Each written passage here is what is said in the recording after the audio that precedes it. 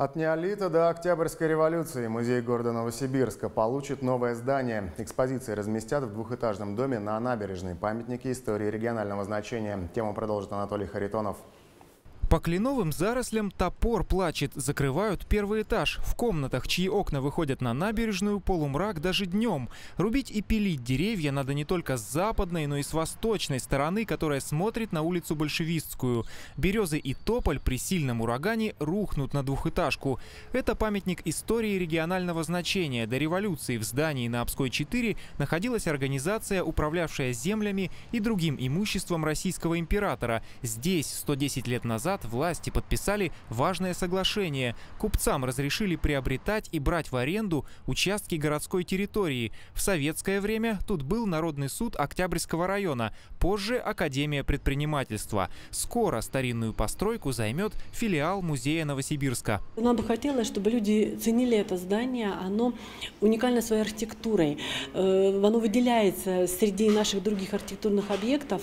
Э, вот такое вот сочетание красной кирпичной кладки и белой резьбы это э, достаточно редкое, но и для нашего города э, в том числе, поэтому нам бы хотелось, чтобы это здание стало вот такой вот особой изюминкой на набережной. Львиную долю средств на ремонт и реконструкцию пожертвовал один из крупных банков. Сегодня руководитель финансовой организации вручил директору музея Новосибирска сертификат на 2,5 миллиона рублей. Часть денег на реализацию проекта выделят из бюджета областного центра. В музее будет 5 залов представят артефакты эпохи неолита, найденные в городе, быт первых жителей Новониколаевска, историю десяти деревень, поглощенных мегаполисом, копии исторических документов, среди них рескрипт Александра III о возведении железнодорожного моста через реку Обь. По словам начальника управления по охране объектов культурного наследия региона, первозданный вид вернут еще одной дореволюционной постройке – конторе инженера Будагова на Большевистской 7. Этот объект,